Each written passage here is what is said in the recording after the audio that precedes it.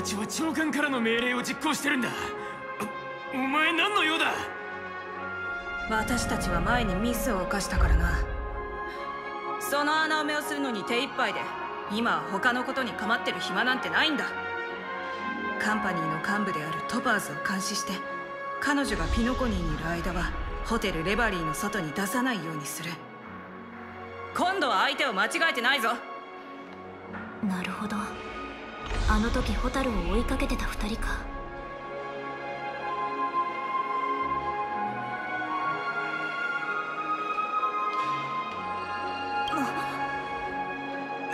なんでお前がまた因縁をつけに来たのか？今度はおじけづいたりしないぞ！用があるなら早く言え。そうじゃないなら邪魔するな。あんたたち知り合いだったんだ。はああんたってなんでどこに行っても前にボコボコにした相手に会うの？そうそう。うちらファミリーのために殺人事件を調査してるんだ。あんたたちの上司と事件について話せない？それはこら。保安官がドリームボーダーから戻ってくるまで何も話しちゃダメだって言われてるだろ。な何が殺人事件だ？でたらめ言うな。そそうだ。話すことなんかない。帰れ。協力する気はないみたいね。でも上司がドリームボーダーにいることは話してくれたわ。なら直接その保安官に会いに行けばいいんじゃない？多分この子が言ってたギャラがあって人でしょ？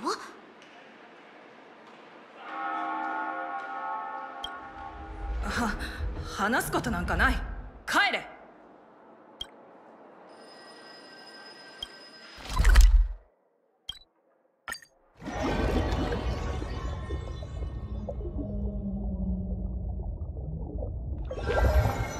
本当に厳重な警備。きっとあいつらも事件のことで大変なんだろうね。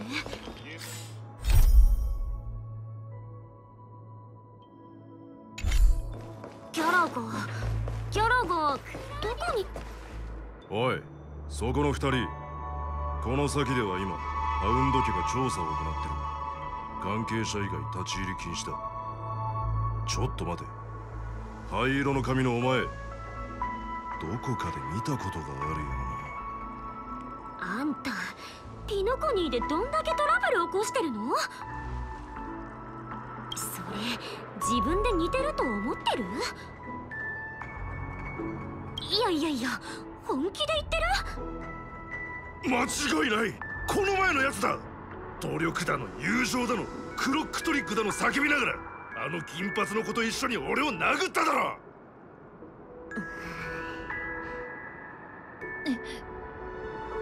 今回は何があっても見逃さないぞ。帰ってくれ。さもないと土下座してお願いするからな。え？あんたこの人に一体どんなひどいことしたの？ちょっと待って。その私たちはファミリーが発行した書類を預かってるの。あんたたちの調査に協力するから私たちがギャラガーさんに会えるよう便宜を図ってもらえないかしら？そのギャラガーってのは一体誰だ？もう何人もその名前を口にしているがそういえばその灰色の髪のやつも前に言ってたな。え？ギャラガーがあんたたちを派遣したんじゃないの？俺たちは保安官に派遣されてきたんだ。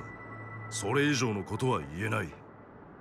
だからそれで合ってるじゃん。うちらはその人に会いたいの？ダメだ。ファミリーの名誉に関わることだから誰も通さないようボスに言われてる。さあ帰ってくれ。わざわざお互いを困らせる必要もないだろ迷惑をかけてごめんなさい。行きましょう。他の方法を考えた方がいいわ。他の方法？そうだ！あんたこの前はえっとクロックトリックってのでこの人を心変わりさせたんだよね。もう一回やってくれない？そのクロックボーイの不思議なマジック誤解を解くだけだから悪いことじゃないって。お願い。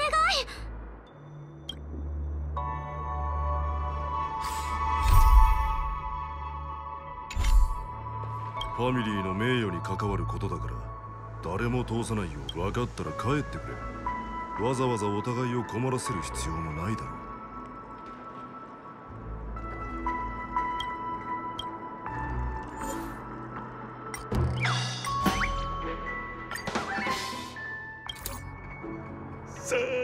今は何時だ？何もう定時か！ゲーム終了だ！誰も俺の邪魔をするな！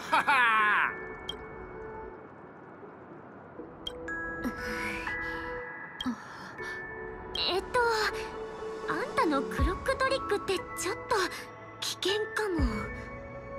少なくとも彼が私たちを止めることはなさそうね。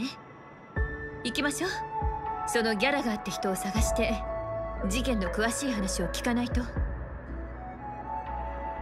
やけに騒がしいと思ったらあんたらだったか。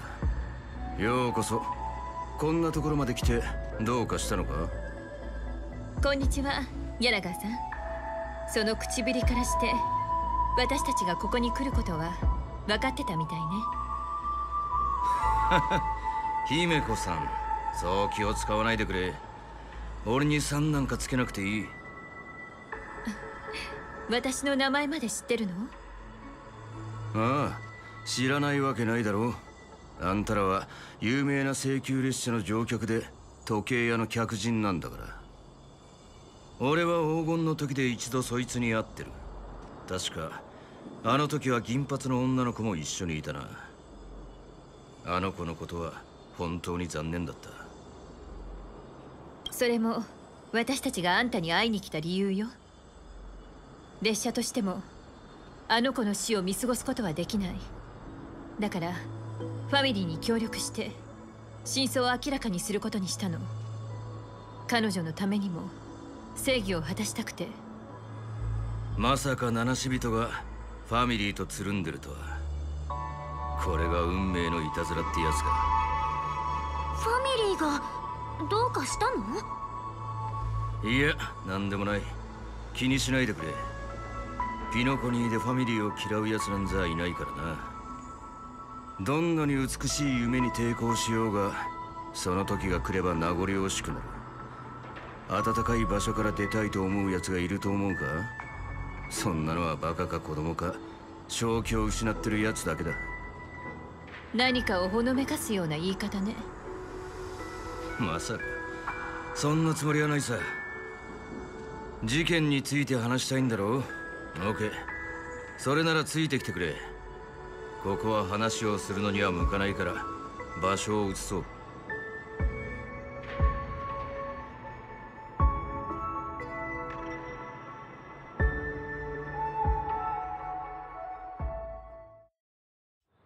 あんなに恐ろしい事件が起きたというのにこの夢は今も秩序を保って動いているのか。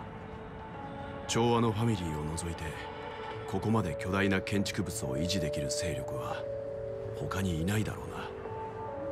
ファミリー自体も巨大で完璧な建築物と言えるだろう。まるで生きた心臓のようだ。ファミリーのメンバーたちは自分を身体のピースの一つだと考えている。唯一の子は共通の理想を囲むように集まり祖の指揮に従いそれぞれの役割を忠実に果たす。自分を捧げると同時にその恵みを受けているんだ。面白い例え方だ。それこそがピノコニーの美しい夢が長く存続している根本的な理由なのかもしれないな。だが人間の体には終わりがある。それは神の体も変わらない。巡回レンジャーの言葉とは思えないな。事実を指摘しているだけだ。ベレトさんなら私よりもその意味を理解していると思うが。どうしてそんなことを言うんだ？美しい夢は崩れつつある。しかしそれは特定のアイオンや派閥あるいは特定の客人のせいではない。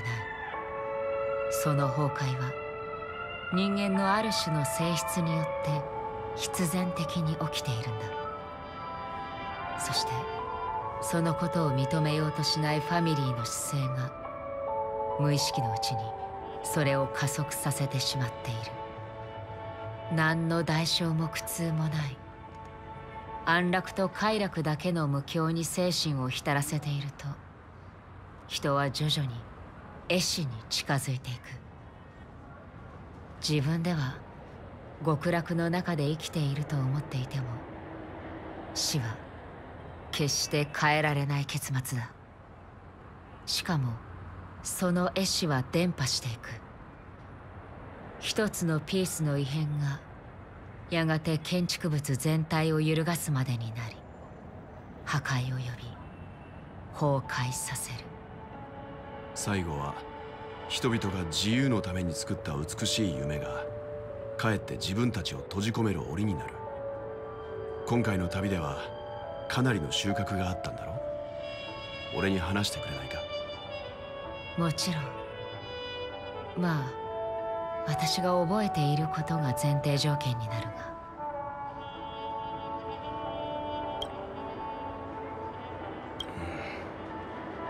ただの癖だから気にしないでくれ。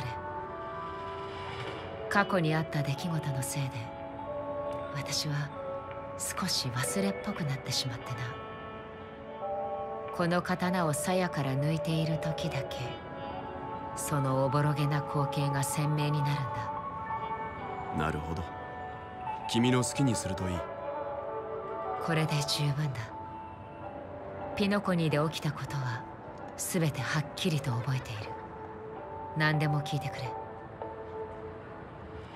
黎明の時。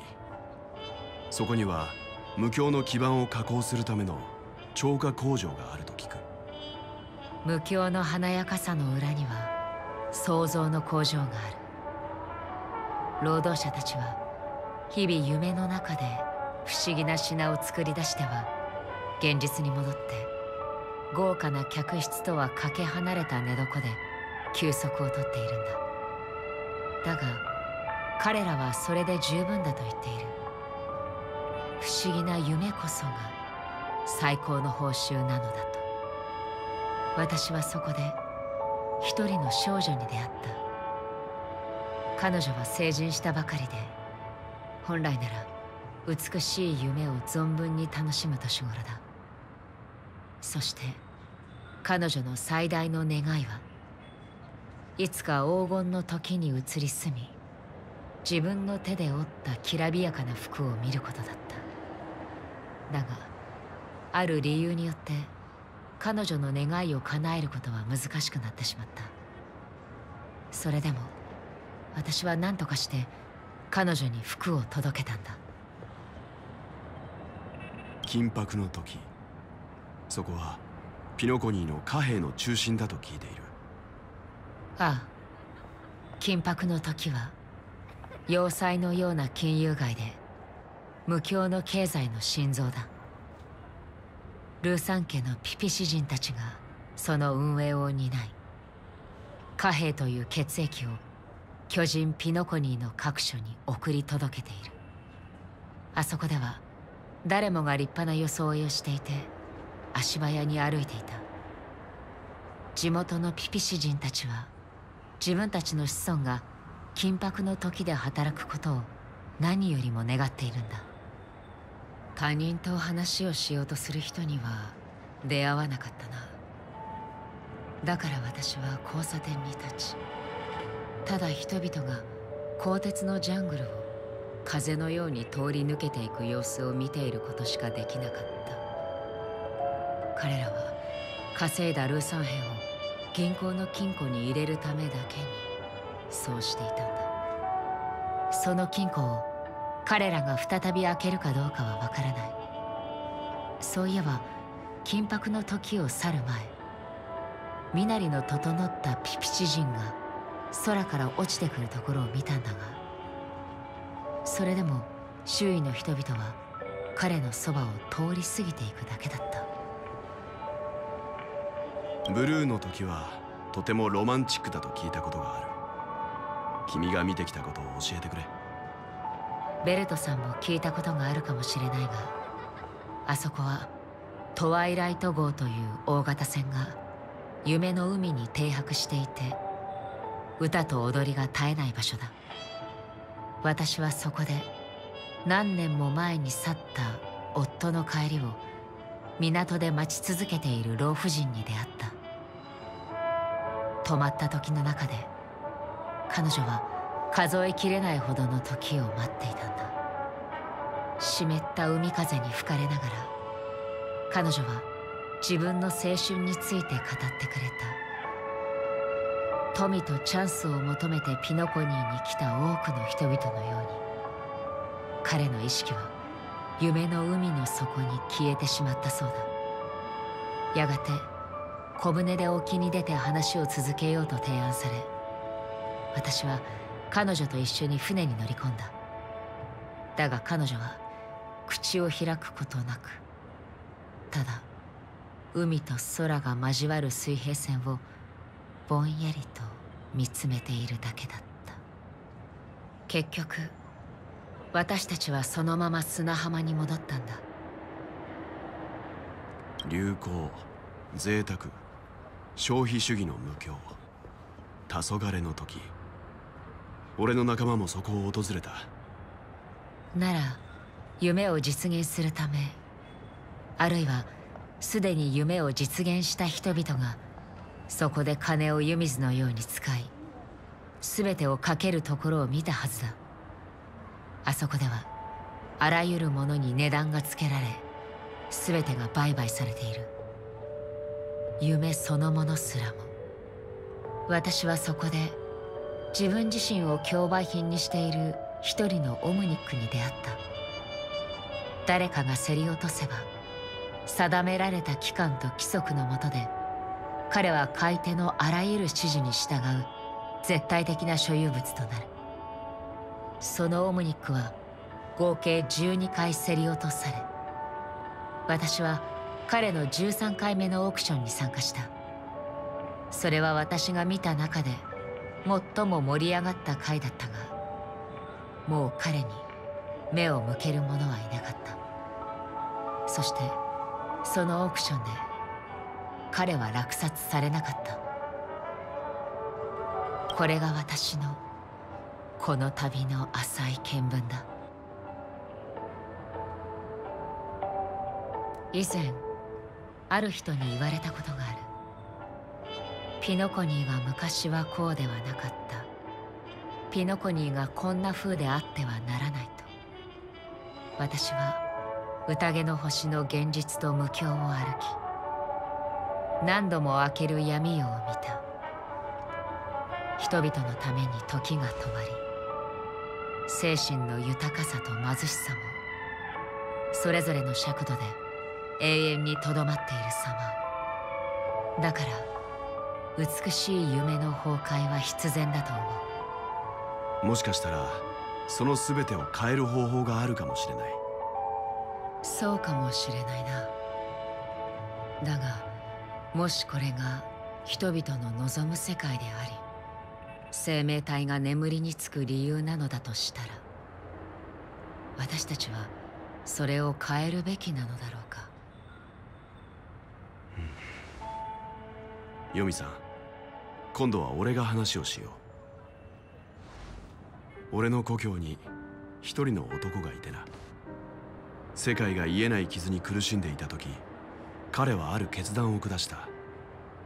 世界中の人々の夢を紡ぎそれらの夢を互いにつなげ合わせ自ら背負うことで一人の巨人精神のアダムを作り出したんだ。その後その巨人は天と地の間に立ち世界全体の存続の柱となった。だがその代償として前に進むことが難しい人。前に進めない人は永遠に未来を失うことになってしまった。彼らは災いも苦痛もない夢の中で眠り男が想像した理想郷で安らかな生涯を送った。そして精神のアダムは人々の目覚めたくないという願望によって不滅の存在となった。だが今あなたはここに立っている。つまりその男は失敗したということだ。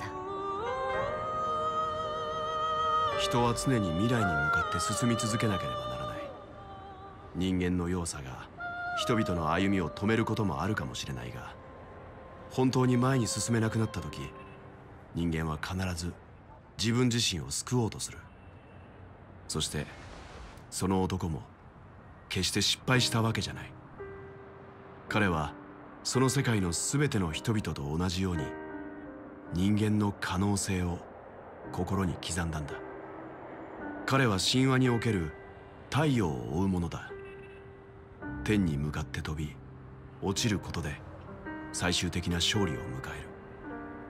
彼は太陽の前にたどり着くためだけに空高く登っていった。そこは誰も到達したことのない場所だ。太陽に近づきすぎた彼はそこで溶けて海に落ちるがその後は無数の人々が彼の体を越えより高い空へと飛び立っていく。七死人の開拓の精神にふさわしいな。ありがとうベルトさん。おかげであなたが何を確認したいのかが分かった。宇宙には似て非なる世界が無数に存在している。そしてその世界には似て非なる人々も無数に存在する。私も旅をしている時異なる世界で姿の似た旧友に出会い彼らの運命が騎士感のある軌跡をたどっていくところを見たことがある。だからこそあなたに伝えよう。完全に同じではないがあなたが描いた物語は私の過去と重なるものがある。そしてその底の見えない夢の中で私はその男の命を終わらせた。私一人の手で。私はあなたの知っている人ではない故郷もあなたたちの世界のように幸運ではなかった。それは残念だ。いやあなたの疑念を晴らせるならそれで構わない。だがそれでも聞かせてほしい。ヨミさん遵守の表彰のもとで君を導いてきたのはどんな力なんだ？ベルトさんその質問に答える前にさっきの話を続けてもいいか？あなたの比喩が気に入った。確かに鳥は生まれつき飛ぶことができるが遠い昔彼らの祖先は地上から空を見上げることしかできなかった。彼らは遥か遠く天の外から届く光が雲を貫き大地を照らす様を見ていた。そして鳥たちは何度も何度も何世代にもわたり翼を広げ空高く舞い上がり太陽に触れようとした。なぜならそこに太陽があるからだ。ではそうして最後の鳥がついに空に舞い上がった時光の果てにあるのが太陽ではなく光を吸い込むブラックホールだったことに気づいたとしたらなぜ私たちは光に向かって飛ぶのだろう。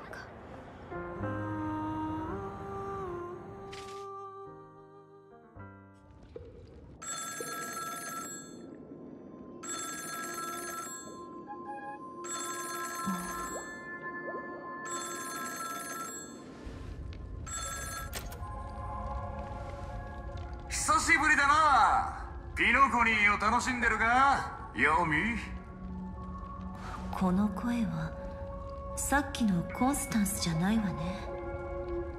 彼女の仲間かしら？あんたが何者で何を企んでるかは知んねえけど俺の弾丸はすぐにあんたを見つけ出す。その前にピノコニーで看護家を見つけて店主に質のいいやつを用意してもらった方がいいぜ。偽物偽物。なるほど。彼女は黄泉を追っている他の誰かに私の居場所を教えたのね。あなたは誰？ああ？相手を間違えたか？ホーリーベイビー。あんたは誰だ？私はガーデン・オブ・リコレクションのメモキーパーよおおすげえじゃん。俺そういう強いタイプ好きなんだよな。あんたあの偽物のボディーガードか？それとも他の何かか？まあどっちでもいいけどよ。あんたにも銃弾を一発残しといてやるから首を洗って待っててくれよな。何を言っているのかよくわからないけど。あなたはヨミという巡回レンジャーを知ってるのね。あなたに聞きたいことがあるの。遺言状を書いてほしいのか。いいぜ。書き出しはどうする。遺言状なんかじゃないわ。彼女が一体どうやって巡回レンジャーになったのか知りたいだけよ彼女は遵守の運命を歩んでなんかいない。あなたこそ遵守の運命の後人そうでしょ？ねえ教えて。黄泉は一体何者なの？オーケー。まさか味方だったとはな。ホーリースイートどうやら俺はマジで運がいいらしい。もうすぐピノコニーに着く。メモキーパー。アステナのホワイトオークを買って温めといてくれ。それで乾杯しようぜ。あの女の過去んなもん誰も知らねえよ。だがあんたが単純な答えだけ求めてるってんならいいだろう。クッションになる椅子を用意しといてくれ。あのヨミって女はな。存在するはずのない指令だ。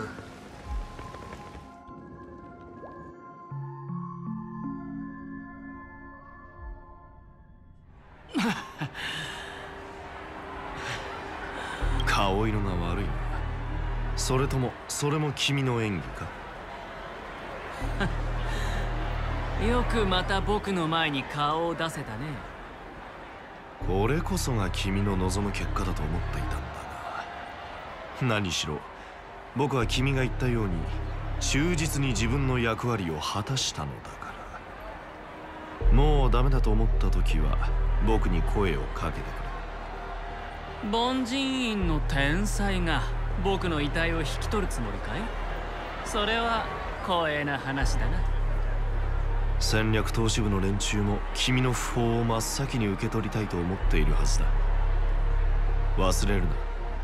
君は二度と彼らに会うことはできない。この任務は今僕の手に委ねられている。分かった。じゃあ今すぐ報告を入れてくれないか？アベンチュリンは万全の準備を整えた。17システム時間後に成果を受け取りに来いってねまたそんな大口を。調和にとらわれている状態でどうやって任務を遂行するつもりだ？サンデーとの会話で僕はファミリーの中に裏切り者がいると確信した。ピノコニーの秘密はその人物の手の中にある。そして僕もこの機会に全ての奇跡を本来あるべき場所に戻した。謝礼金も取り戻せたし。ホテルレバリーに足を踏み入れてからここまで順調に事が運んだことはない。勝利まであと一歩なんだ。自分の惨状を復唱しているようにしか聞こえないな。それも負けを認めるのを拒否するような極めて強情な言い方で。僕に言えることはこれだけだ。忘れたのかい？君は僕を一度裏切ってるんだよ教授自分の行くべき場所に行くといい。僕はカンパニーの戦艦に包囲されるピノコニーを見たくてたまらないんだ。君も欲しかったものは手に入ったんだろ？ああ。だがどうするつもりだ？その謝礼金の入ったバッグの中に低軌道支援を呼べるビーコンでも隠してるのか？さあそれはどうだろう。まあでも僕が死の瀬戸際にお金を配ろうとしている理由はそれかもしれない、はあ、君は完全に狂っている。どうしようもないギャンブラーね。狂ってるか。もしかしたら僕はとっくに狂ってたのかもしれないね。もういい。これを持っていけ死ぬ直前にそれを開けるんだ。そうすればきっと僕に感謝するだろう。これは何だ？処方箋か？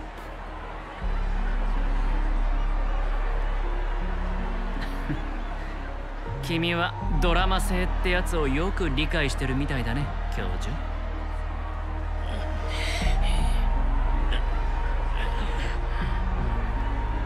人に事件を調べさせておいて手がかり一つくれないなんて。やってくれるなあの羽頭め。でもあの密航者のために落ち着きを失っている君たちの様子は僕の推測を裏付けてくれた。この後はカンパニーの富の雨を全ての人々の頭上に降らせよう。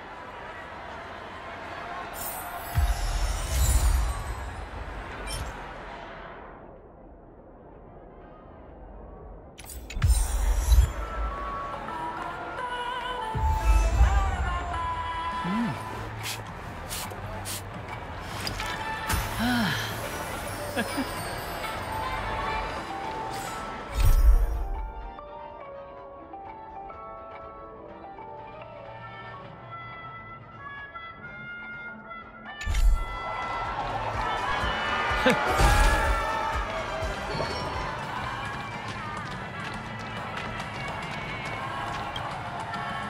れやれ世の中は乱れ人々の心も変わってしまった。お前さんはああ分かったぞ。これは何かのいたずら番組だな。きっと向こうの建物にカメラを仕掛け自分の善行を撮影しているんだろう。お前さんたち若者は朝から晩まで木をてらうことばかり考えている。それではダメだ。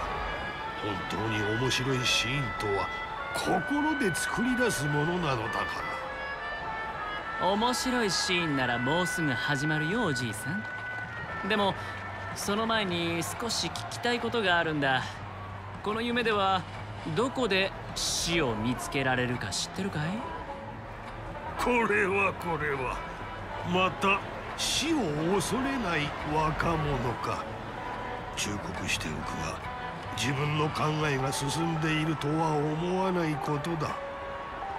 死。そんなテーマはとっくに廃れている。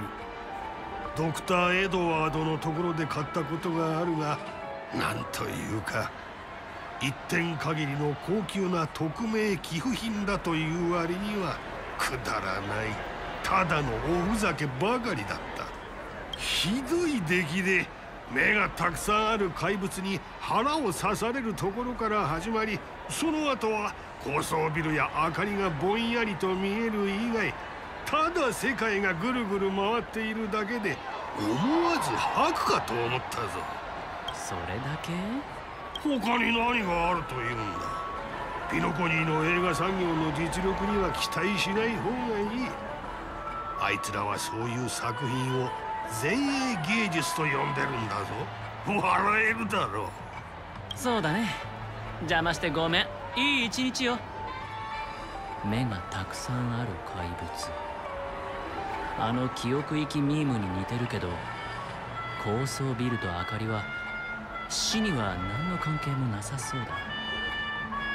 多分噂で作り上げられたドリームバブルだろう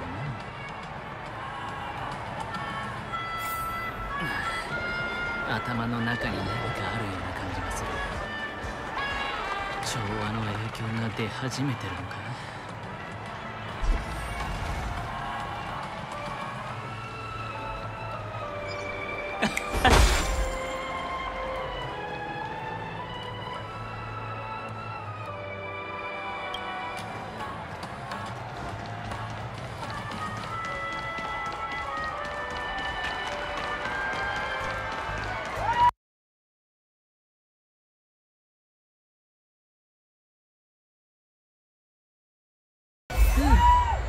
暇だし何かゲームでもしようか。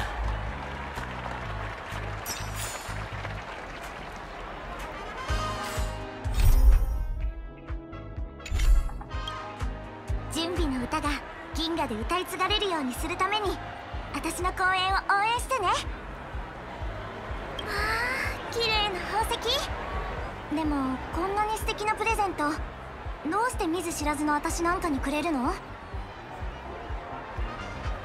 それは美しい夢の中で誰かが貧しい思いをするところは見たくないからかな。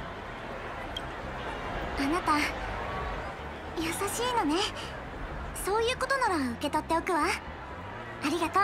初めましてのお兄さん。今度時間があったら私の歌を聴きに来てね。うんきっと行くよ。ところでついでに教えてもらいたいんだけど死にまつわる逸話って聞いたことないかな？死？それは怖い言葉ね。美しい夢には似つかわしくない。実は僕はタブロイド紙の記者で今はピノコニーの階段について調べてるんだ。君も知ってると思うけどこういうのって怖ければ怖いほど注目されるだろう？だから何か知ってることがあるなら少し話を聞かせてほしいなって。ただの噂でよければ死とは関係ないけど現実のホテルではお客さんが眠ったまま起きなくなったことがあるらしいの。原因不明の昏睡だったみたいだけど幸い最後は意識を取り戻したんだって。それはそうよね。だってファミリーがお客さんを守ってるんだから。ありがとう。今の話で十分だよ。シペのご加護がありますように。眠ったまま起きなくなった。夢の中で脳が死んだ時に現実の体で起こる反応に似てるな。後半の意識を取り戻したっていう言葉さえなければよかったのに。頭の中の声が強くなってる。だんだん近づいてるみたいだな。酔っ払えば夢を見なくなるが悩みが消える。やっぱり俺は詩人になるべきだったんだ。お？それをくれるのか？んなところでお人よしに会えるとは思わなかったな。それとも俺を憐れんでるのか？まあいい。どうでもいい。スラーダさえあれば十分だ。それがこの無教の真理だろ？スラーダは飲みすぎない方がいい。体に良くないからね。おっと。お前の言う通りだ。だがその前にスラーダの悪魔に会ってみたい。スラーダの悪魔？その話詳しく聞かせてもらえるかな？いいぞ。それはな首の太いタツノオトシゴだ。あいつらが言うにはそれは酔っ払いの前に現れるのが大好きだそうだ特に道端で酔いつぶれてる。おおバカ野郎の前にな。確かに面白いね。教えてくれてありがとう。ファミリーに入る前はみんなこうして苦しめられたのか。僕の脳を証拠として送りたくなるな。安全にはご注意ください。何か危険なことがありましたらハウンドがいつでも力になります。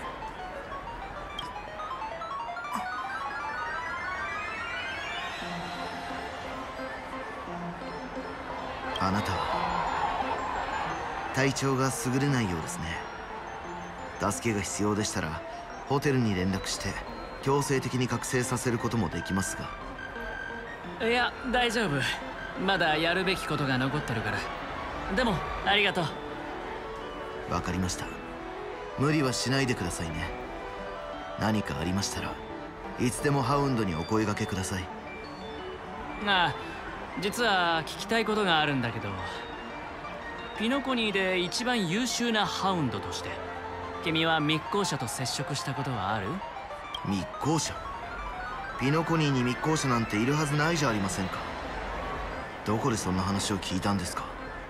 そっか。分かった。じゃあお仕事頑張ってね。やっぱりファミリーはカンパニーに何も教えてくれないな。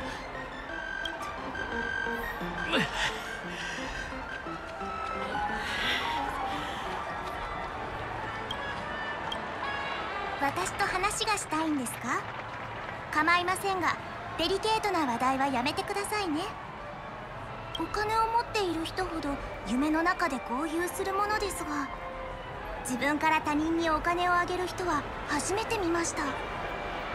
あなたも体を覆う金箔を分け与える王子になって溶鉱炉で鉛の心臓を溶かしたいのですか？王子だなんてそれは持ち上げすぎだよ。僕はただこの宝石で君にあることを教えてもらいたいだけさ。君ほどのキャリアを持つ調査報道記者なら使徒も接触したことがあるんじゃないかと思ってね。あらあなたも好奇心旺盛なんですね。実はそれは私が業界に入った時に一番やりたかったテーマなんです。でも局長からストップをかけられてしまって。その局長は何て言って君を説得したんだい？理由は大したものじゃなくて。ただそんな根も葉もない都市伝説を報道したら私たちは三流メディアだと思われてしまうと言っていました。よく考えてみたらそれも一理あるかと思いまして。誕生日にろうそくを吹き消すと悪夢の幽霊に取りつかれるとか。そんな報道をするのは正直プロの仕事とは言えませんからね。それは何とも不思議な話だね。いずれにしても話してくれてありがとう。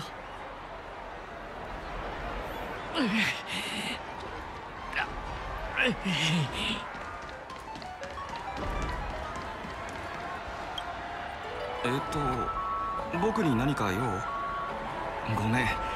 てっきり僕の後ろにある何かを見てるのかと思って。これは僕へのプレゼント？何かの間違いじゃないか？大した金額でもない。ささやかなものだけど受け取ってくれると嬉しいな。本当に？まさか僕が他の人からプレゼントをもらえるなんて。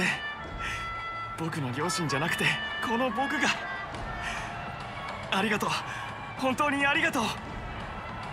落ち着いて実は君に少し聞きたいことがあるんだ。やっぱりか。何を知りたいんだい？僕の父さんのこと？それとも母さんのこと？え？どっちでもないけど僕が聞きたいのは無教の中で死に関する話を聞いたことがあるかってことさ。へえ君も僕の父さんと同じことを言うんだな父さんも危険はどこにでもある。夢の中でも油断してはいけないって言ってた。父さんはオムニックだから。夢に入る方法が有機生命体とは違うんだ。だから仮に危険なことがあっても無境の中では僕を守れない。守る？身の安全も父さんに守ってもらわないといけないなんて。父さんに遠く及ばないな皮肉だ本当になんて皮肉なんだ。そのもっと楽観的になってもいいんじゃないかな。瑠璃も針も照らせば光るって言うしさ。スラーダの悪魔。夢の中の危険。悪夢の幽霊。やっぱりファミリーが約束した美しい夢の中では死が人々の興味をそそる話題であることは間違いない。ただ所詮はどれも噂話。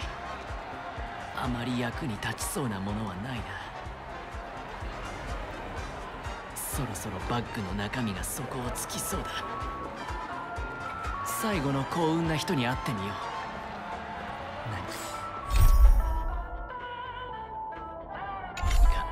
サプライズがあるといい。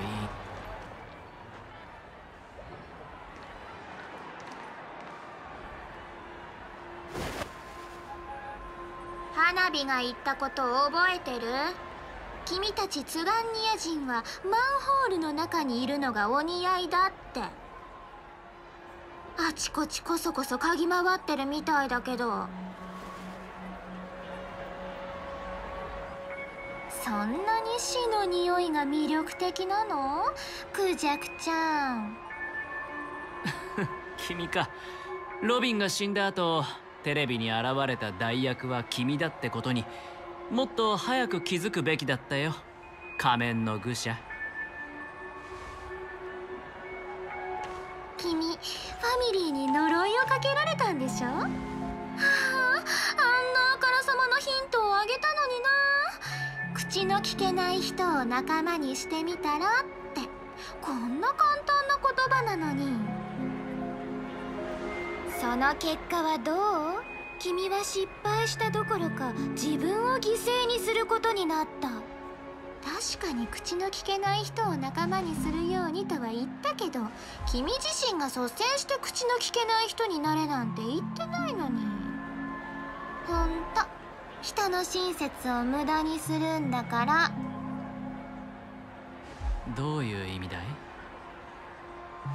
花火より君の方がよく分かってるんじゃない？歌えない小鳥が目の前で死んでいくのを黙って見てたのは誰？もちろん君だよねクジャクちゃん。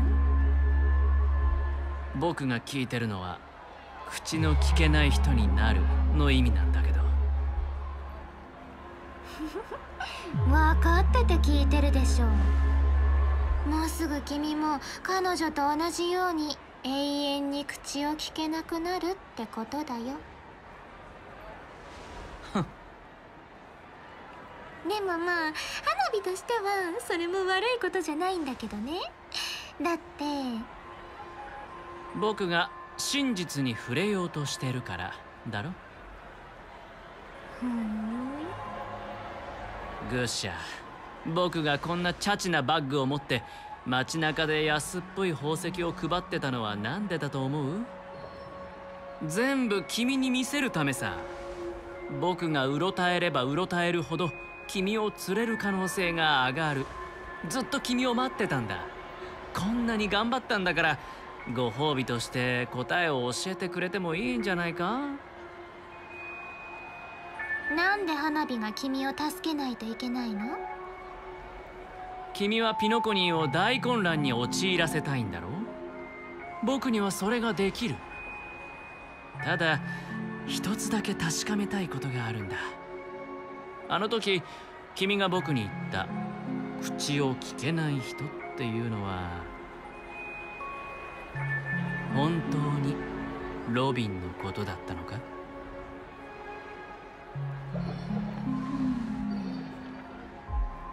もし「いいや」って言ったらありがとう。その言葉がこんなに親切に聞こえたのは初めてだ。なるほどね。花火君を見くびってたみたい。でもそれがどうしたっていうの？教えてあげる口の聞けない人って定義に当てはまる人はもともと2人いたの。でもロビンは死んじゃってもう1人はまだピノコニーにいるけど多分もう君には見つけられないだろうね。グシャ今なら確信を持って言える。僕は最初から正しい道を進んでた。ちっとも間違ってなかったってね。今の僕に足りないものは2つだけ。一つは真実の裏にある意味。もう一つはそれを明らかにする方法だ。そっかそっか。よかった。また花火の大好きな工場っぷりを見せてくれる気になったんだね。でもそれって何も分かってないってことじゃないの？いやこれまでに見つけたさまざまな痕跡からそれが確実に存在することは証明できてる。それで十分だ。今挙げた2つの問題の答えについては17あいや16システム時間あれば全てを明らかにできるだろう。16システム時間？本当に足りるの？それならもう少し君を焚きつけてあげようかな。はいこれあげる。これは花火のコレクションの相互保証破滅ボタン。花火も同じのを持ってるんだ。花火か君のどっちかがこれを押せばもう一人はすぐにピノコニーもろとも爆発するの。もし君が本当にカンパニーをピノコニーに引き入れたくて我慢できなくなったらゲームテーブルそのものをひっくり返すのも一つの手だよ。最初っからやり直せばいいんだから。カンパニーってそういうの得意でしょ？だからどうしようもなくなった時はそれを押して。もちろん花火に連絡してくれてもいいけどね。最後の気遣いだと思って。そんなに危険なのか。ファミリーは君の言葉を真に受けなかったんだね。そうじゃなければ君がこれを持ち込むこともなかっただろう。君は花火にはそれができるってことだけ知ってればいいの。残念だけど君の提案は断らせてもらう君のおもちゃが本当に役に立つかどうかわからないし僕は君の言う口の聞けない友人を探しに行くつもりもないからね。まあその人がまだピノコニーにいるって聞けたのは嬉しかったけど。後のことは自分でどうにかする。ファミリーの崩壊を祝うためのショーを用意するんだ。クライマックスでは高い壁が崩れ落ち人々が目覚め口の聞けない人も再び声を発することになる。その時が来たらボタンを押して盛大な花火で盛り上げてくれ。それじゃあまたねグシャ。この後に及んでまだそんな大口を叩けるなんて。でも約束だよ。絶対花火をがっかりさせないでよね。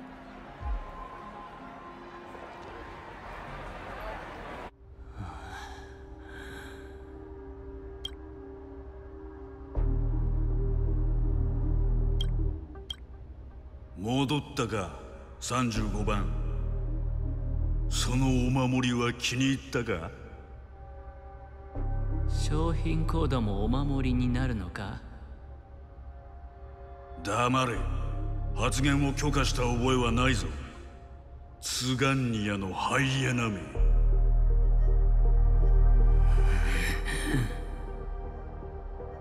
あの黒いスーツの連中は多くを語らなかったからな。お前が一体どんな手段を使ってあの大虐殺を生き残ったのかは知らねえ。だが俺はお前が幸運だと思って買い取ることにした。今後お前とお前の運は俺の財産だ。分かったか？お前への最初の命令は至ってシンプルだ。俺はお前の他にも30いや34人の奴隷を買った。そいつらとゲームをしろ。2日間生き延びることができればお前の力が本物だという証明になる。狂ってるな。ただの検品だ。購入費用が無駄になるのが怖くないのか？金なら有り余ってるからな。金髪小僧。反整形奴隷市場にはお前みたいな身の程知らずなクソガキは腐るほどいる。だがお前は見た目が悪くないだから大勢の客がガリガリに痩せたお前にかけてるんだ。さあ行け。俺を失望させるなよ。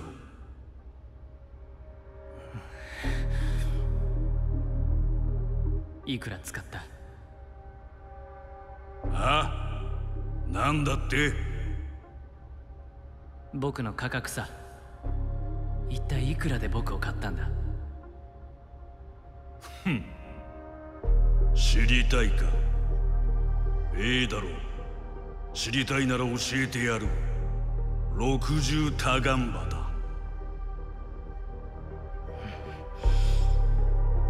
あんたと賭けをしたい。60の半分。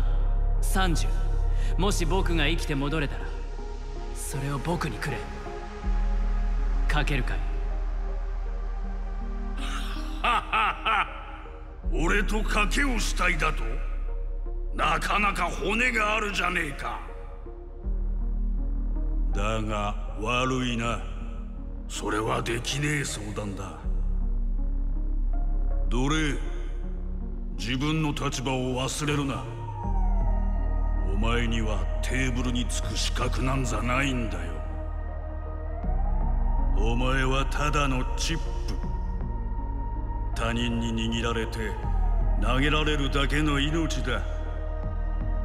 さあ主人のためにもっと多くのチップを持ち帰ってこい。それができないなら二度と帰ってくるな。オール・オア・ナッシング。俺の顔に泥を塗るんじゃねえぞ。ラッキーボーイ。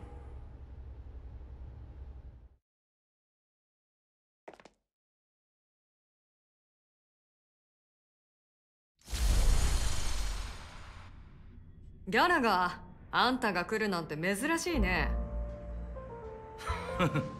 ちょっと友人が訪ねてきてな。今少し時間あるかシボン私なら一日中暇してたよ。いらっしゃい。ようこそバーナイトメアへ。メニューには何でも載ってるけどスラーダはないんだ。ここではあんなつまらない飲み物なんか置かない。あとバーの中にあるものはどれも売り物じゃないの。ここで買えるのは喜びだけ。お客さんの心からの笑顔しか見たくないからね。何が飲みたい？すぐに用意するよ。見てかっこいいお姉さん。セーバルと同じタイプだ。セーバルって誰？ぜひとも紹介してほしいね。聞こえてたあんまりそいつらをからかわないでくれシボン。お前の手を煩わせるまでもない。今日は俺が腕を振るおう。年を取ったから少しはリハビリしないとかつてのなりわいを忘れちまいそうだ。飲み物の材料はどこに置いてある？それなら全部カウンターの下にあるよ。せっかく遠くからお客さんが来てくれたなら今日はスペシャルドリンクを振る舞ってあげたら？ああそのつもりだ。お前らちょっと手伝ってくれないか。バーの中を探して好きな材料を持ってきてほしいんだ。事件の話をするなら長くなるだろうからお前らに合ったカクテルを用意してやる。カスタムメイドでノンアルコールのな。バーの中？使える材料は全部カウンターにあるんじゃないの？ここは無教だよ可愛いお嬢さん。あんたが望めばどんなものでも飲むことができる。安心上迷い嫌気。どんなものでもあるの。うちのこと可愛いお嬢さんって言ってくれた。現実世界でもカクテルはただの酒と食材の融合じゃない。バーテンダーはカウンターの雰囲気を捉え技術とストーリーをつなぎ合わせちょっとした神秘と期待を加える。そうすることでお客さんと一緒にそれぞれの人生の味を作り出せるんだ。つまり何が飲めるかは運次第ってことだ。まあまり深く考えるな。迷いは楽しむ上での大敵だからな。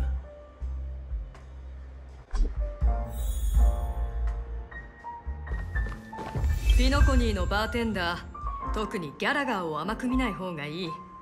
この人は魔法使いみたいでお客さんがどんな難しいリクエストをしようとぴったりの味を作り出しちゃうんだから。せっかくの機会だからギャラガーに難題をふっかけてやりなさい。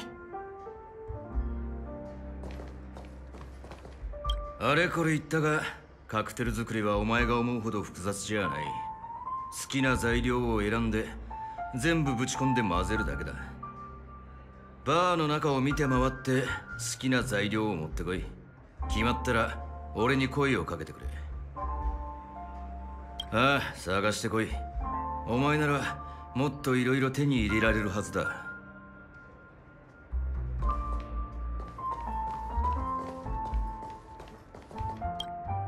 これはカクテルに使えるかな？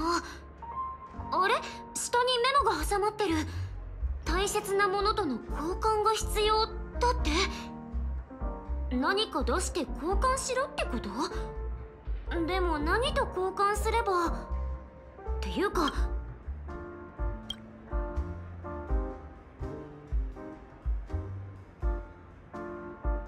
何してんの？ゴミなんか。あれ？嘘！ネモの文字が変わった。幸福は癒しきものの夢。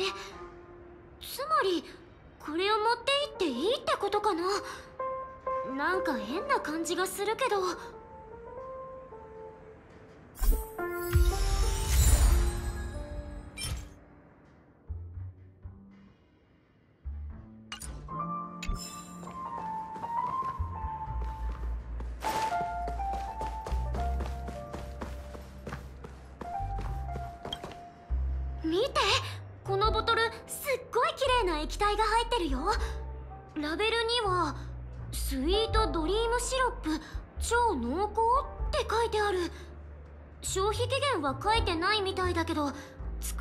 日は半5泊期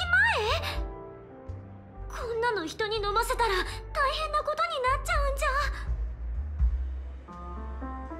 そう言ってはいたけどこれはちょっと。私のコレクションのシロップが気に入ったの？大丈夫。ここは夢の中だからお腹を壊したりはしない。ずっと置きっぱなしにしてたけど味は保証するよ。遠慮しないで持って行って。あんたたちみたいな可愛いお客さんをもてなすのにはちょうどいいからさ。じゃじゃあとりあえず持っていこっか。結構集まったね。これで足りるかな。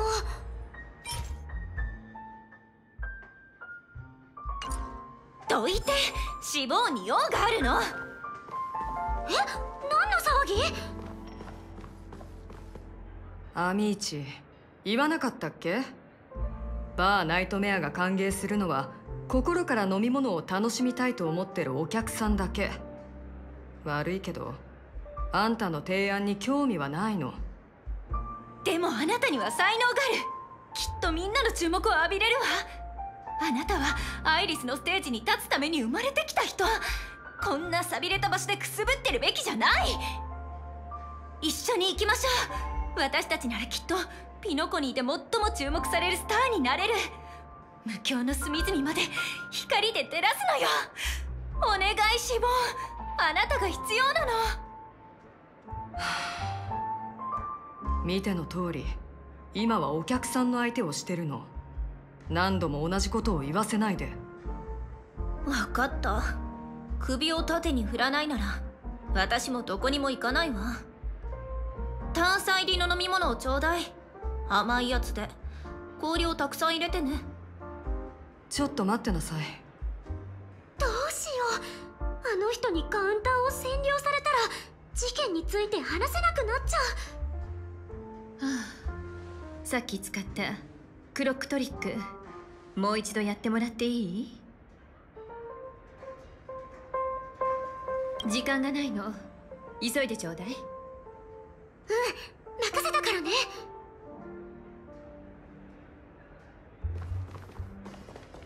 あなたがシボーンのお客さんね。何か用？私を帰らせようとしても無駄よ。彼女が私のお願いを聞いてくれない限り。一体どうして？どうして彼女はここから離れようとしないの？こんな寂れてボロボロのバーなのに。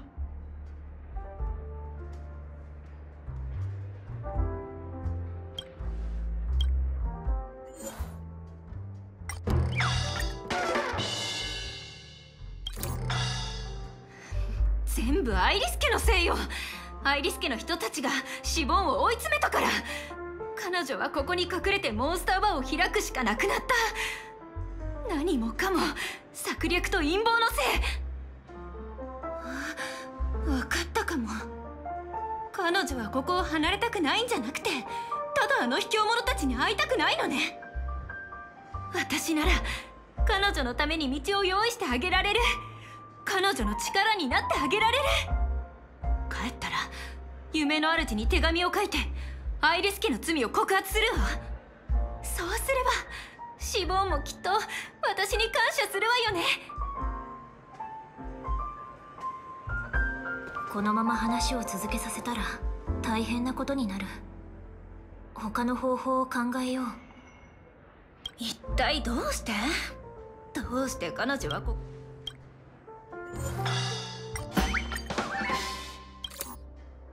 見えた。私とシボンが一緒のステージに立つ瞬間が見えたわ。観客たちは拍手していて歓声が大波みたいに押し寄せてくる。ゆったりとしたメロディーが響き渡りカラフルな紙吹雪が肩に落ちる。辺りにはアイリスの香りが漂っていてなんて甘美な光景なのかしら。この光景は何度も見てきた。夢の中だけどいつも私を魅了する。だからこそ何としても彼女をあの世界に連れ戻したいの。ねえ乾杯しない？聞き上手な見知らぬお客さん。この手の届かない夢の前祝いってことで。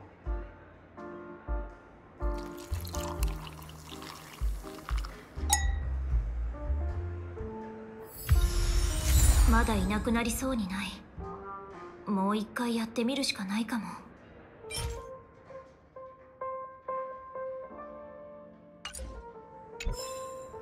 一体どうして？どうしてか。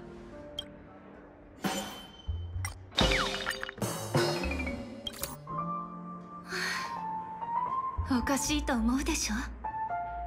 私たちの人生は平行線をたどってるのに。れでも彼女を諦められずにいるなんて。私は臆病で弱虫で光り輝く場所に憧れてるのにスポットライトの下に立つ勇気がない。私には彼女の導きが必要なの。私だけじゃ何もできないから。あなたはシボーンの過去を知らないでしょう。彼女がどんなに輝いていたか。スーパースターがひしめくアイリス家でも彼女の才能はずば抜けてるのよ。分かってるわ。シボーンは私が彼女の名声を借りて売れたがってるって思ってることくらい。でも私はただ彼女をあの場所に戻してあげたいだけなの。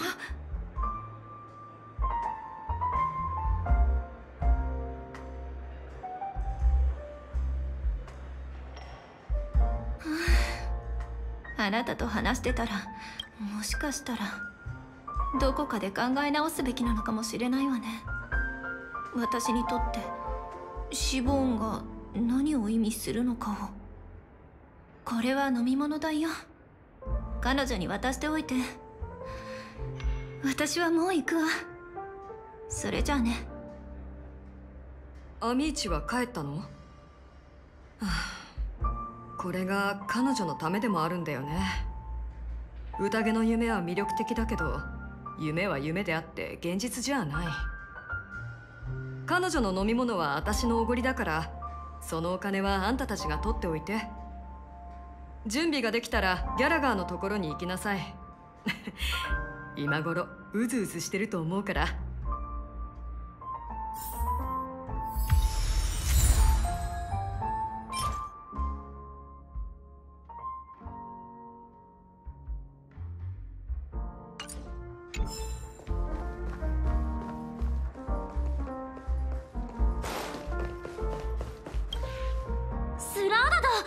あのお姉さんスラーダは売ってないって言ってなかった？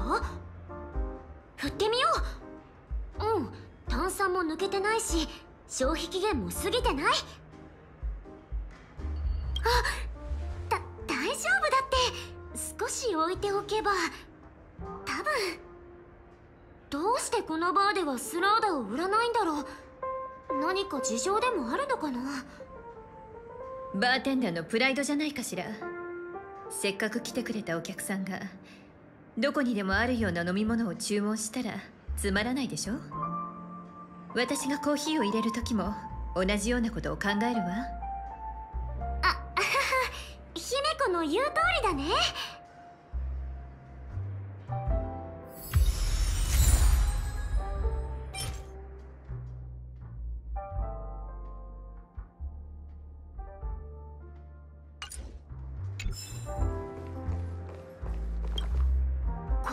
チップがいっぱい散らばってるね。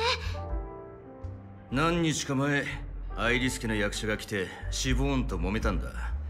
その時に落としたものだろう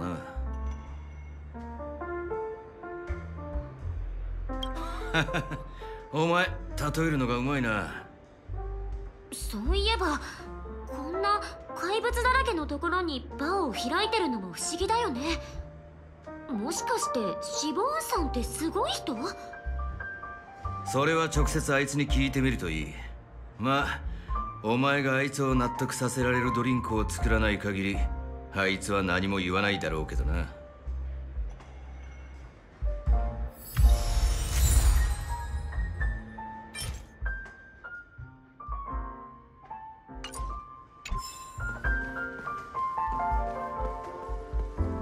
あれこれ言ったがカクテル作りはお前が思うほど複雑じゃない。好きな材料を選んで全部ぶち込んで混ぜるだけだ。バーの中を見て回って好きな材料を持ってこい。決まったら俺に声をかけてくれ。へえ早いじゃないか。どれどれ？面白いものを持ってきたな。さあ選んでくれ。それぞれの飲み物には独特のフレーバーがあって普通はベースとなる材料から第一印象と後味の余韻を決めるんだ。どの材料をベースにしたい？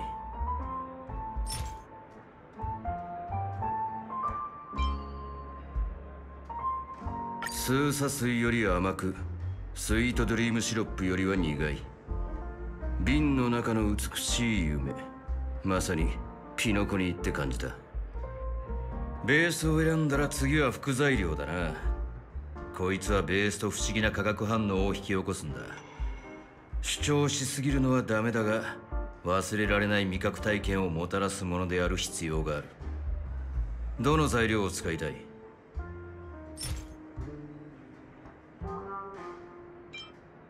美しい未来。この味は久しぶりだな。ずっと忘れられないことがある。ミハイルに連れられて無教の荒野を馬で失踪してた時奥室の風の中にこの味が包まれていたんだ。あの時間は魂を揺さぶるようでありえないくらい美しかった。ミハイル？これでいいな。次は飾りを選んでくれ。どんなスタイルが好きだ？ここには何でもあるぞ宇宙企業のお気に入りか。お前も野心があるな。よし完成だ。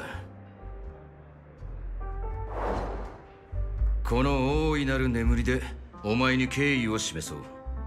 迷える子羊。過去の亡霊に乾杯。やるじゃないギャラが。腕はなまってないみたいだね。お前ら満足してもらえたか？この味スラーダよりずっと複雑だね。豊かな味わいで何重にも広がっていく。まさに傑作ね。特に副材料の扱いが素晴らしいわ。何か特別な風味が感じられる。辛くて酸っぱいけどほんのり甘いこれが何を意味するのかはわからないけどギャラガーは自分のコンセプトを説明してくれるのかしら？残念だがもし深い答えを期待してるならがっかりすることになるぞ。それの持つイメージはとてもシンプルだ。それは美しい夢の本当の味。それ以上のものはない。この本当の味ってそのミハイルって人と関係があるの？そうだ。どっかで聞いた名前だと思ったらあんたがあの仮面の愚者の女の子に気絶させられた時誰かがその名前をつぶやくのを聞いたんだよね。ええいろいろ知ってるみたいだな。やっぱり俺の目に狂いはなかったようだ。これで正直に話さない理由もなくなった。さあ事件について話そう。もちろん。そのミハイルに関する話もついでにな。結論から言おう。ファミリーが持っている手がかりによればそのホタルって女の子は地元の人間でも招待を受けてやってきた客でもない。つまり彼女は正真正銘の密航者だってことだ。俺も彼女に騙された。本当に年を取ったもんだな。だが宴の星では密航はそれほど珍しいことじゃないし捜査も難しくはない。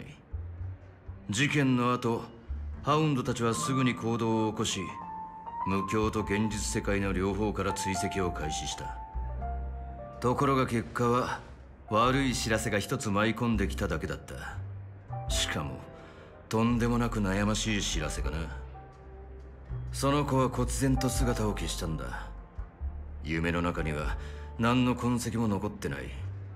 現実世界でも一向に体が見つからない。まるで最初からピノコニーに来ていなかったかのように。え？それってつまり？いい例えだな。うん？今のは例えだよな。はっきり言うが彼女の状況はお前らは愚かハウンド家にとっても初めてのことなんだ初めて。それはつまりピノコニーには確かに死が存在するってこと？見られた以上もう隠す必要もないな。街には華やかな一面もあれば人には言えないような裏の面もあるってことだ。大人の世界のことは詳しく説明するまでもないだろう。この程度のことでファミリーに疑いをかけるのは単純すぎる。夢の中にも予期せぬ死はあるがそれがどうした？そんな極めて低い確率で起こる事件が影響するのはごく少数の人間に限られてる。本当にこの事件について詳しく調べたいならファミリーの本当の困難を理解することだ。そこでさっきのミハイルの話につながるのね。鋭いな請求列車もあのオルゴールを受け取ったんだろう？中にどんな秘密が隠されてるか知ってるか？夢の中で不可能を見届けピノコニーの父時計屋の遺産を探し出し生命体はなぜ眠るのかという問いにお答えくださいというメッセージがあったわ。一文字も間違ってないな。ちょっと何笑ってまさかあんたが書いたの？なかなか文才あるんだね。俺は事件を捜査してる保安官だぞ。知らないわけがないだろう。お前らだってこのメッセージがファミリーから出されたものじゃないことに。もっと言えば両者の関係がそれほど良好ではないことに気づいてるんじゃないか。まだ推測の域を出ないけど正直ピノコニーの父が実質的な管理者とそこまで折り合いが悪いだなんて信じがたいもの。そうか。なら教えてやろう。その推測は正しい。ファミリーはずっと前から時計屋を敵視していたが彼は神出鬼没でハウンドたちもなかなか捕まえられずにいたんだ。あの人はまるで自分が作り上げた商業神話の中にしか存在しない人物かのようだった。そこでさらに聞きたい。時計屋は外の世界にそういう冗談めいた情報を流してあんたらを招きここを混乱させている。なぜファミリーがそれを容認しているのか考えたことはあるか？あんたたちはこの機会を利用して時計屋の尻尾を掴もうとしてるの？今ならなぜ大久家が七死人の調査の協力を依頼しておきながらあんたらに色々と隠し事をしていたのかもわかるだろう。それは時計屋は夢の地の伝説なんかじゃなくピノコニーの分家史上最大の汚点であり全ての無教の異変の発端だからだ。まだわからないか？俺が言いたいのはミハエルファミリーの裏切り者。彼こそが有名な時計屋なんだ。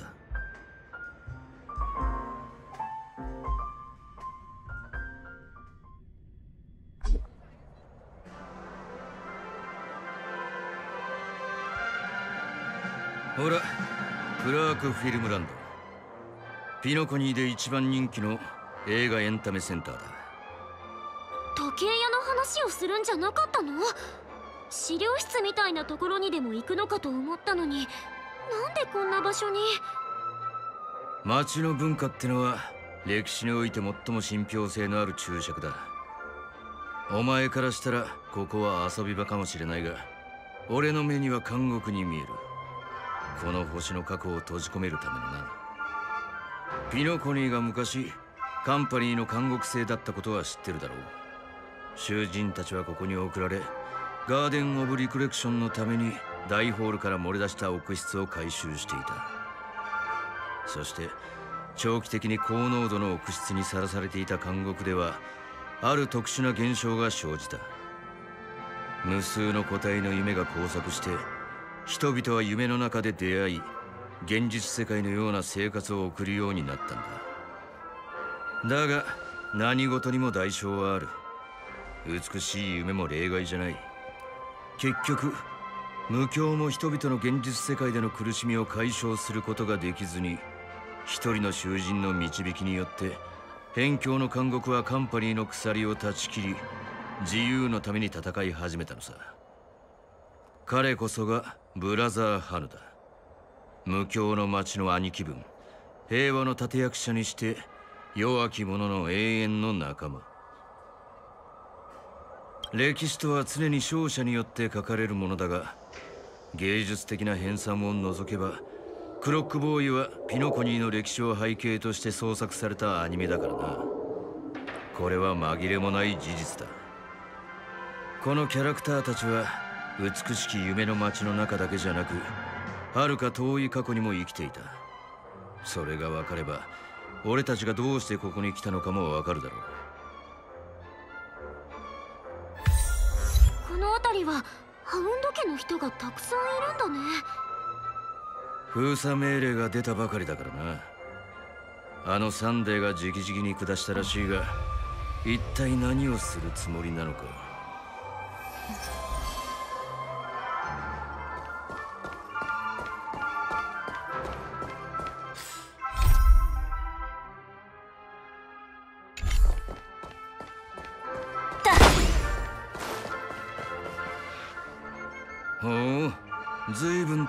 かりだな。容疑者を追う時でもここまで力を入れたことはないぞ。いや中は人が多いから外で話した方がいい。さあ静かな場所を探して話を続けよう。ここにするか。見晴らしが良くてちょうど彼の姿も見える。クロックボーイ。そのアニメキャラたちが現実世界にもいるのならあのクロックボーイに対応するのは間違いなく時計屋ね。彼はブラザーハヌの仲間で美しき夢の街の初期メンバーの一人だった。つまり歴史上の時計屋自身もその戦争に加わりしかもアスデナ側に立っていたことになるんじゃない？それは壮大な独立戦争だった。仮面の愚者七死人虚構歴史学者弔い霊人薬剤前衛ハヌノは多くの仲間と他の星から来た客の助けを借り戦乱を平定した。当然その中には後の時計屋も含まれている。でもそうなると時計屋は何百年も生きてるってこと？わからない。俺がミハイルと知り合った時彼はすでに時計屋だった。多分名前を引き継いだんだろうな。ワンカンさんって何歳なの？13歳。どう見ても無理があると思うけど？ハヌヌは辺境の監獄を解放したが平和を見ることなく去ってしまった。乏しい資源。虎視眈々と狙ってくる外敵。まとまりのない各監獄エリアアステナの未来は依然として危ういものだった。だが歴史上の時計屋がその監獄を賑やかな宴の星に変えようとファミリーに協力を求めピノコニーはようやく今の名前を手に入れ星々に向かい合うステージに立ったんだ。だから彼はピノコニーの父と呼ばれているのね。でもさっきの説明で時計屋はファミリーの裏切り者だって言ってたよね。しかもあんたは彼の仲間だったって。それってつまりあんたも。俺は彼の仲間じゃない。数多くいる彼の子供の一人だ。だが確かに俺も裏切り者ではあるな。裏切った相手はファミリーじゃなくミハイルだが。何をしたの？俺は何もしていないそれこそが最大の裏切りなんだ。かつての俺にはあんたらと同じように背中を預けられる仲間がいてな。一緒にピノコニーのために心血を注いでいたんだがウォーク家はそんな俺たちに不義を働いたんだ。ミハイルは年を取ってたからもう自分の子供を守ることができなかった。そして俺たちはファミリーから離れ自分たちの道を模索したが調和の裏切り者となってしまった。本当の裏切り者は他にいたにもかかわらずな。奴らは対外的には時計屋の名声を称え続けていたが裏では密かに彼を誹謗中傷して恥ずかしめていた。それでも俺たちは彼の名誉を取り戻したいと願っていた。本物の裏切り者。全ての黒幕さえ見つけ出せばピノコニーの調和は正しい軌道に戻ると思っていたんだ。だが俺たちは負けた。長い時間が経ち夢の地が受けた影響はあまりにも深刻で終わりのない追撃の中で俺は諦めたのさ。まるで負け犬みたいにな。ファミリーは再び俺を受け入れ保安官の仕事を与えてくれた。表向きは許されているが実際のところこれは罰だ。それ以来俺は仲間そして俺の過去と完全に決別した。そしてミハイルは彼は誰にも気づかれない誰にも見つからない場所で死んだらしい。それを聞いた瞬間かつてのピノコニーは二度と戻らないんだと俺は理解したんだ。とても気の毒な話だと思うけどことはそれほど単純ではないんでしょどうやら時計屋の名を継ぎ密かにファミリーへの反抗を続けてる奴がいるらしい。残念ながらこれだけの年月が経っても俺はまだそれが誰なのかつかめてない。それどころかそいつが果たして人間なのかそれともミハイルの幽霊が夢の中をさまよっているのかすらわからない。これで分かったか？なんで俺がここまでお前らに話したか？あの子の死はきっと時計屋の遺産に関係しているからだ。そして謎の霧に包まれた先。俺たちが探している答えはそこにある。それが本当にミハイルの幽霊の仕業ならちょっと会ってみたい気もするな。俺を見下す奴は5万といるが対等に接してくれる人はどんどん減ってるから。さて俺の知ってることは全部話した。お前らがこの老犬を対等に見ようとしてくれた例だと思ってくれればいい。うん。スタジオの方で何かあったみたいだな。俺はもう行く。お前らの幸運を願ってるぞ。皮肉なもんだな。今ピノコニーから門前払いを食らってる密航者たちと数琥珀期前に開拓者として称えられた夢追い人たちに何の違いがあるっていうんだ。ギャラガーってやっぱりいろんな経験をした人だったんだね。ホタルの行方は謎のままだけど彼の話を聞いて多くの疑問が解けたわ時計屋の正体ファミリーとの関係そして美しい夢と死の裏に隠された権力闘争。ええギャラガーは本当の裏切り者は他にいると言っていた。そしてその人物はオーク家の中に潜んでいる可能性が高いわ。それもこれまでに集めた情報と辻褄が合うわね。ホタルはその遺産のために今回の惨劇に巻き込まれた。これで確信が持てたわ。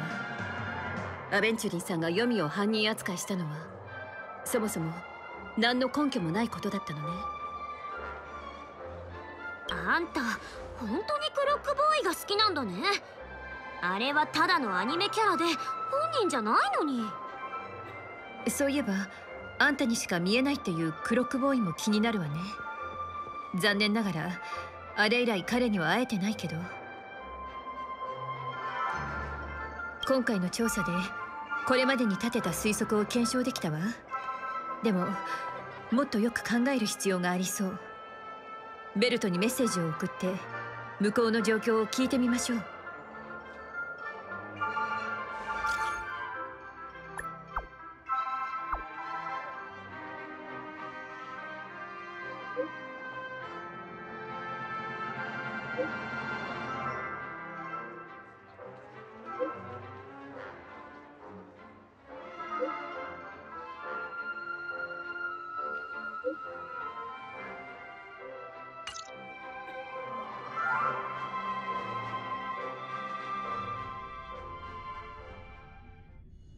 仲間が心配してるのか？いやただの業務連絡だ。向こうで何か進展があったらしい。早く行って戻ろう。このまま進むと朝露の館の奥に入っていく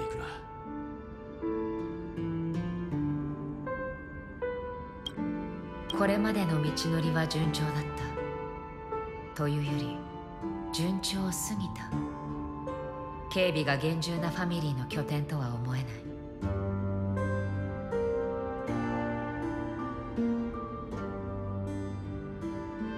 まずは話を聞ける人を見つけよう。